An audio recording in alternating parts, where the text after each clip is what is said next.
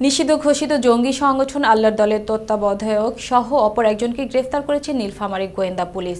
তাদের কাছ থেকে উদ্ধার করা হয়েছে চারটি মোবাইল ফোন ও সাতটি সিম।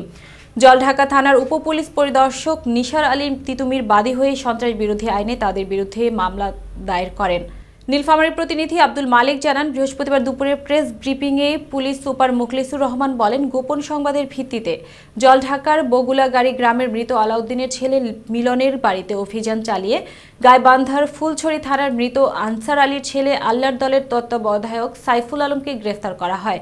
সাইফুল আলমের দেওয়া তথ্যে নীলফামারী সদরের ইটাখোলার ছাড়ারপোরের ইমান আলীর ছেলে জিকরুল আহমেদকে গ্রেফতার করা হয়। তিনি নীলফামারী সদর উপজেলার আল্লাহর দলের প্রচার সম্পাদকের দায়িত্বে ছিলেন। এরা আসলেও যে কাজটি করছে, কোরআনে কথা বলছে, এই দেশে যে গণতান্ত্রিক পদ্ধতি রয়েছে, গণতান্ত্রিক যে সরকার রয়েছে, সেই সরকারের ব্যাপারে তাদের আস্থা নেই, তারা বিশ্বাস করে না। তারা বলে যে এই কোরআনের শাসন যেটা, কোরআনে যেটা লেখা আছে, সেই শাসন এই দেশে বাস্তবায়ন করতে হবে।